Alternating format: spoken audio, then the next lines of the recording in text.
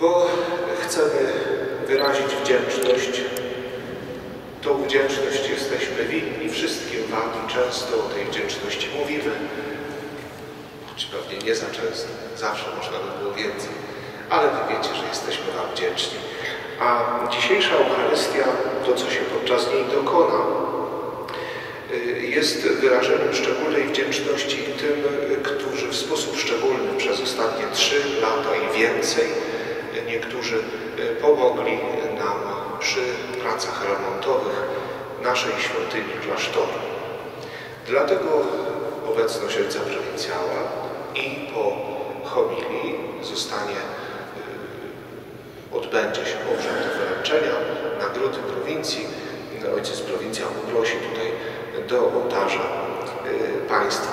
Spotykamy się głównie i dziękujemy przede wszystkim Pani Leontynie Kiszejewskiej, Panu Janowi Majgierowi, Panu Leszkowi Chmielowskiemu i Panu Krzysztofowi Mazurkowi.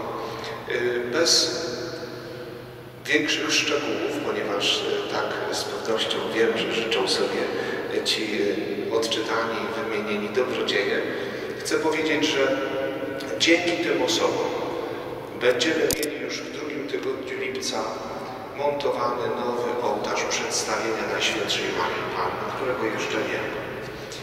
Piękny, odrestaurowany ołtarz, którego już miałem okazję zobaczyć, dotknąć, sprawdzić, nacieszyć się jego pięknem. Dzięki tym dobrodziejom odbudowaliśmy mur wobec, wokół klasztoru. Jak go nie było, to się czuliśmy jak bez ubrania. Dzięki tym wymienionym osobom, ich sercu wielkiemu, zostało podwieszone, zabezpieczone, od, odnowione od górnej, od górnej strony nasze sklepienie pozorne, które postępowało w procesie gminnym, a że jest tylko pozorne, że jest drewniane, wymagało i konserwacji, i zabezpieczenia, i ocieplenia. O wszystkim tym mówiłem dzisiaj, tylko relacjonuję w skrócie. Dzięki tym braciom, dzięki tym osobom odkryty został, odkryte zostało wielkie niebezpieczeństwo katastrofy budowlanej. Groziło zapalenie kopły nad mauzoleum Piastów. Dzięki interwencji szybkiej niebezpieczeństwo zostało zażegnane po części w 100%. Druga część prac jeszcze nas czeka, ale już możemy spać spokojnie. Strop jest zabezpieczony. Dzięki tym wymienionym osobom już dzisiaj złożone zostały, zwiezione zostały rusztowania wokół będą ustawione do końca listopada z Bożą pomocą, ale przede wszystkim także i z pomocą tych Państwa zostanie wymieniony dach nad mauzoleum, odrestaurowane zostaną witraże, a także zostanie położona, zakonserwowana nowa elewacja. Za to wszystko chcemy serdecznie podziękować, a nie tylko za to, także za to, co wspólnie planujemy, my jeszcze planujemy dużo, czy, czy będą tu tacy franciszkanie, czy inni. Jestem przekonany, że ci Państwo, którzy zostali przeze mnie wymienieni, będą nam jeszcze pomagać. I, i, i za to dziękuję, bo my dużo rozmów już odbyliśmy i, i, i za te nasze plany, za, za, to, za to pragnienie pomocy, za to, że jesteście przy nas. Bardzo serdecznie dziękuję. Msza święta sprawowana, ofiarowana przeze mnie będzie ofiarowana w Waszej intencji. Jest jeszcze w świątyni wiele innych osób, które też zapraszano, którym też jestem wdzięczny bardzo, z którymi też po mszy świętej spotkamy się w auli świętego Franciszka pod klasztorem. O jednak z rozmów wyszło, aby nie wyczytywać nazwisk, tym bardziej również dziękuję. Lecz ten, kto spełnia wolę mojego Ojca, który jest. Wielu powie mi w owym dniu, Panie, Panie, czy nie prorokowaliśmy mocą Twojego imienia? Nie wyrzucaliśmy złych duchów mocą Twego imienia? I nie czyniliśmy wielu cudów mocą Twego imienia? Wtedy im oświadczę, nigdy Was nie znałem. Odejdźcie ode mnie Wy, którzy dopuszczacie się nieprawości. Każdego więc, kto tych słów moich słucha i wypełnia je, można porównać z roztropnym, który dom swój zbudował na skale. Spadł deszcz, wybrały, wezbrały potoki, zerwały się wichry i uderzyły w ten dom. On jednak nie umiał, bo na skale był utwierdzony. Każdego zaś, kto tych słów moich słucha, a nie wypełnia ich, można porównać z człowiekiem nierozsądnym. Będę miał zaszczyt wręczyć po wyjaśnieniu tego słowa tej dzisiejszej Ewangelii. Wbrew pozorom Jezus nie występuje w niej jako inżynier albo znawca konstrukcji budowlanych, mimo że daje bardzo wyraźne, rzeczywiste wskazówki, jak należy wznosić budowlę, jak należy budować. Każdy przy zdrowym rozsądku zdaje sobie sprawę, że wznoszenie czegokolwiek na piasku, na gruncie, który jest ruchomy i miałki, nie wróży niczego dobrego. Stąd posługuje się takim oczywistym porównaniem. No i daje nam ten obraz, byśmy zrozumieli tajemnicę wiary. Bardzo trudny jest ten jego wykład. Ja e, na poprzedniej mszy świętej, która była odprawiana na zakończenie, mm, e, zakończenie klas gimnazjalnych, zakończenie gimnazjum, tutaj przy klasztorze lemnickim, mówiłem, że Jezus daje podczas tej nauki coś w rodzaju ostatniego wykładu. Jest tym, który wzorem amerykańskich nauczycieli daje ostatnią lekcję do swoich uczniów. I robi to istotnie, ponieważ ta perykopa przeczytana z Ewangelii Świętego Mateusza to jest zamknięcie wykładu, który bibliści nazywają kazaniem na górze. To jest właściwie wielka karta chrześcijaństwa, streszczenie zasadniczej nauki, jaką, jaka zawiera się w Ewangelii. Kazanie na górze. I na końcu tego kazania Jezus wypowiada słowa, które mają uświadomić Jego słuchaczom, co jest w tym wszystkim najważniejsze. Być może nie zapomną, być może nie zapamiętają szczegółów kazania, tego, co mówił do nich wcześniej, ale mają zapamiętać te Jego ostatnie słowa. Stąd daje ten wyraźny obraz, ten wyraźny przykład tego, kto tak naprawdę jest Jego uczniem.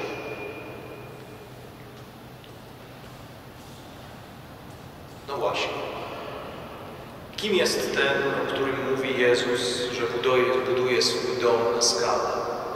Kim jest ten, który buduje dom takim gruncie jak piasek? Z pewnością jest człowiekiem roztropnym, bo tak Jezus go nazywa, ale jest też człowiekiem cierpliwym. W analogicznym tekście świętego Łukasza, mówiącym o tych budowniczych, którzy wznoszą swoje domostwa, Jezus mówi, że ten, który buduje na skalę, musi najpierw do tej skały dojść, to znaczy kopie głęboko fundament. Głęboko, głęboko, aż znajdzie grunt, na którym może ten fundament postawić i wznieść budowlę.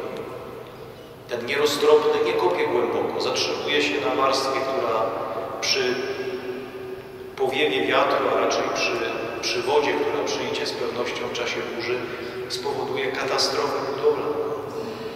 Więc człowiek, który słucha słów Jezusowych, słucha słów Ewangelii, przypomina nie tylko tego, który przyjmuje do wiadomości, co nauczyciel ma do powiedzenia, ale drąży głęboko, głęboko, aż dojdzie do tego, co jest istotne. Więc ta roztropność, ta mądrość budowniczego objawienia także do nas nie należy, że Legnica jest tego także dobrym przykładem. Ani kościół, ani klasztor, który zamieszkujemy, nie należy do Franciszkanów. Jesteśmy tu gośćmi. Bo tak też Franciszek zapisał w swojej regule, bracia niech niczego nie nabywają na własność. Póki co, tak jest. I tak jest w większości przypadków na świecie, że nawet Sacro Convento, święty konwent asyski, gdzie spoczywają relikwie świętego ojca Franciszka, czy Bazylika Il Santo świętego Antoniego w najważniejsze franciszkańskie miejsca na świecie, do Franciszkanów nie należą. Jesteśmy tam tylko i wyłącznie posługującymi, tymi, którzy wypełniają posługę. Natomiast wszystko należy do stolicy apostolskiej. Formalnie także do biskupa miejsca, który sprawuje taką czy inną władzę. Ale powierzono nam pewne dobra do, pod opiekę. Jesteśmy za te dobra odpowiedzialni. No i jak pogodzić te dwie sprawy? Jak pogodzić ten, ten wręcz nakaz zapisany w regule o nieposiadaniu niczego z odpowiedzialnością? Przecież poruszamy się w świecie materii, w takich czy innych systemach prawnych, które zobowiązują nas do odpowiedzialności także za, za to, co stoi, za, za miejsce, w którym mieszkamy. Nie dalibyśmy rady. Sami z siebie, przy naszej wiedzy, przy naszych umiejętnościach, nawet przy naszej największej, szczerej franciszkańskiej woli, nie podołalibyśmy takiej, takiej odpowiedzialności. Stąd, zgodnie z ewangeliczną obietnicą, Pan daje nam braci i siostry, którzy nam w tym pomagają, którzy nie mają takich zobowiązań płynących z reguły świętego Franciszka, dodatkowo mają wiedzę, kompetencje, umiejętności i dobre serce, aby tę odpowiedzialność z nami wspólnie nieść. I pozostaje wtedy problem w sercu Franciszkanina, jak tym ludziom podziękować. W jaki sposób odwdzięczyć się za to wspólne niesienie, ponoszenie odpowiedzialności. Stąd w roku 2000, w roku jubileuszowym w naszej prowincji ustanowiono coś w rodzaju nagrody, która jest tylko i wyłącznie uhonorowaniem zasług wobec tych osób, które współuczestniczą w tej naszej odpowiedzialności za, za, za sprawy prowincji, za sprawy naszej wspólnoty, za tę część Kościoła, nie tylko materialną, ale te, także duchową, powierzoną Franciszkanom. I każdy z klasztorów takich braci i siostry, takie osoby nam życzliwe posiada. I kiedy dojdzie do takiego momentu, w którym my czujemy, że po prostu już się nie da tak tylko i wyłącznie współpracować bez powiedzenia takiego wyraźnego słowa dziękuję, gwardian klasztoru składa wniosek do prowincjała, do Rady Prowincjalnej, by uhonorować takie osoby nagrodą prowincji, która jest niczym innym jak tylko skromną figurką świętego Franciszka i dyplomem, w którym znajduje się zobowiązanie, zgodnie z którym każdy, kto otrzyma taką nagrodę i taką, taką, taką figurkę zostaje wpisany do księgi dobrodziejów prowincji. A to oznacza, że Franciszkanie biorą na siebie pewną odpowiedzialność duchową za te osoby każdą pierwszą środę miesiąca odprawiają, odprawiają mszę świętą za, za swoich dobrodziejów. Zresztą za dobrodziejów modlimy się także przy każdym posiłku. Te osoby zostają jakby włączone do naszej wspólnoty w sposób honorowy, korzystają także z łask, jakie, przy, jakie zakon udziela albo wyprasza wobec tych osób, jakim winien jest wdzięczność i tę wdzięczność będzie wyrażał tak długo, jak zakon będzie istniał. Tyle możemy zrobić. Więcej nie potrafimy i pewnie nie umielibyśmy jakoś inaczej podziękować, jak tylko poprzez modlitwę, poprzez życzliwą pamięć, a symbolem tego jest ta skromna, ta skromna nagroda. Dlatego teraz bardzo proszę ojca proboszcza Jana, który złożył taki wniosek do prowincjała, abyśmy dopełnić najdawniejszej franciszkańskiej tradycji, utrzymywanej potem przez całe wieki. Istniały praktyki i zwyczaje honorujące i obdarzające duchowymi przywilejami dobroczyńców i przyjaciół naszego zakonu. Także obecnie w wielu prowincjach Zachodu istnieje mocna więź pomiędzy wspólnotami zakonnymi a współpracownikami i dobroczyńcami świeckimi.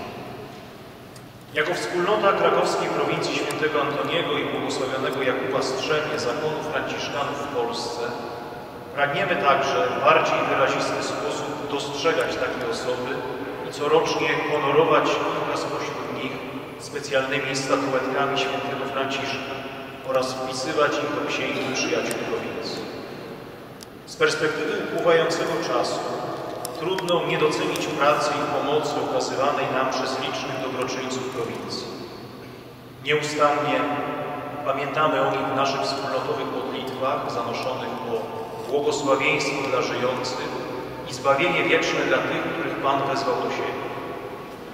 Pomni na słowa poety o ludziach, którzy tak szybko odchodzą, pragniemy spieszyć z miłością wobec każdego, kto wspólnie z nami bierze do serca ciągle aktualne napomnienie świętego Franciszka, które brzmi bracia, póki mamy czas, czynimy dobrze. Wobec powyższego, na wniosek wspólnoty braci z klasztoru świętego Jana Chrzciciela w Legnicy, Rada Prowincji świętego Antoniego i błogosławionego Jakuba Strzemie Zakonu Franciszkanów w Polsce w dniu 26 marca 2015 roku podjęła uchwałę o przyznaniu symbolicznej nagrody prowincji pani Leontynie do, w dowód uznania za ofiarne zaangażowanie na rzecz klasztoru i kościoła świętego Jana Chrzciciela, szczególnie za sfinansowanie renowacji ołtarza świętej Anny w tymże kościele. W poczuciu wielkiej wdzięczności za dar osoby, serca, pracy i czasu poświęconego sprawom franciszkańskiego klasztoru i kościoła świętego Jana Chrzciciela w Legnicy, wpisujemy panią Leontynę Giżejewską do Księgi Przyjaciół i Dobroczyńców naszej prowincji, prosząc w głębokiej pokorze o przyjęcie pamiątkowej nagrody.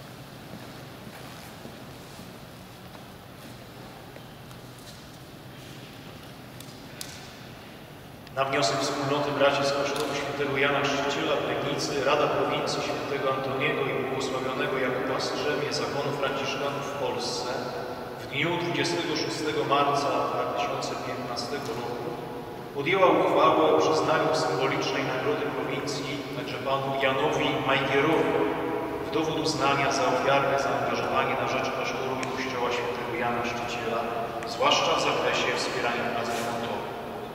W poczuciu wielkiej wdzięczności za dar osoby, serca, pracy czasu poświęconego sprawom franciszkańskiego klasztoru i kościoła świętego Jana Chrzciciela w Legnicy. Wpisujemy pana Jana Majkiera do Księgi Przyjaciół i Dobroczyńców naszej prowincji, prosząc w głębokiej pokorze o przyjęcie pamiątkowej nagrody.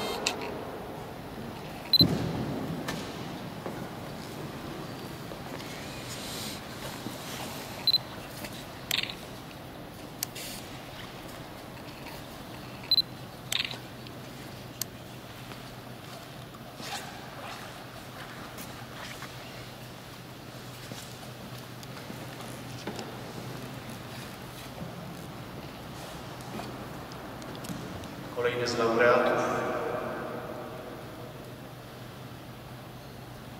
W dniu 26 marca 2015 roku Rada Prowincji Świętego Antoniego i błogosławionego Jakuba Strzemie Zakonu Franciszkanów w Polsce na wniosek wspólnoty braci z Legnickiego Klasztoru podjęła uchwałę o przyznaniu symbolicznej nagrody prowincji panu Leszkowi Chmielowskiemu dowód uznania za ofiarne zaangażowanie na rzecz klasztoru i kościoła świętego Jana Chrzciciela, szczególnie w zakresie prowadzenia licznych prac remontowo-budowlanych.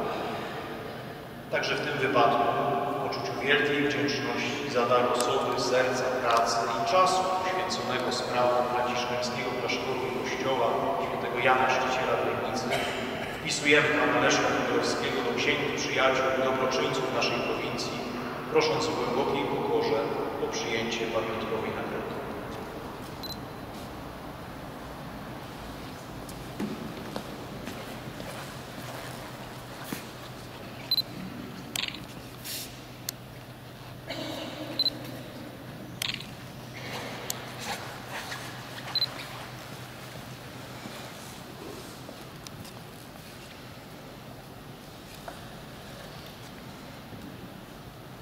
Raz jeszcze powtórzę słowa, które zapisane są w pamiątkowym dyplomie. Na wniosek wspólnoty braci z klasztoru świętego Jana Chrzciciela Legnicy, Rada Prowincji świętego Antoniego i błogosławionego Jakuba Strzemie Zakonu Franciszkanów w Polsce w dniu 26 marca 2015 roku podjęła uchwałę o przyznaniu symbolicznej nagrody prowincji panu Krzysztofowi Mazurkowi w dowód uznania za ofiarne zaangażowanie na rzecz klasztoru i kościoła świętego Jana Chrzciciela w zakresie wspierania prac remontowych. W uczuciu wielkiej wdzięczności za dar osoby, serca, pracy i czasu poświęconego sprawom franciszkańskiego klasztoru i kościoła świętego Jana Chrzciciela w Legnicy wpisujemy pana Krzysztofa Mazurka do Księgi Przyjaciół i Dobroczyńców naszej prowincji, prosząc w głębokiej pokorze o przyjęcie pamiątkowej nagrody.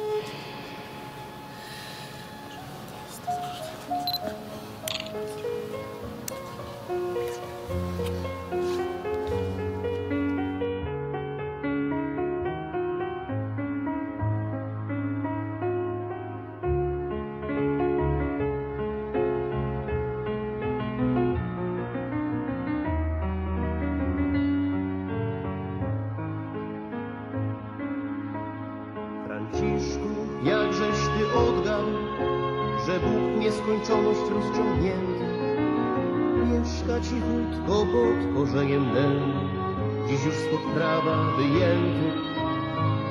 Albo kto ci powiedział, kiedyś ty po górach chodził, że i kwiaty, że was Bóg urodził.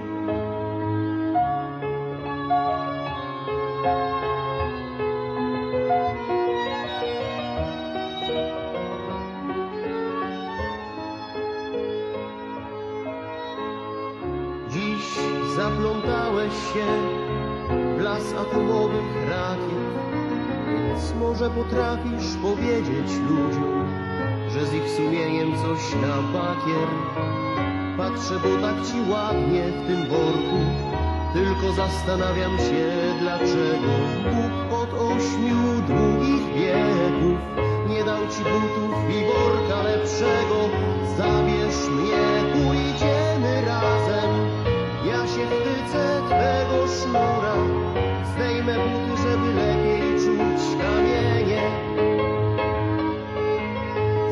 this.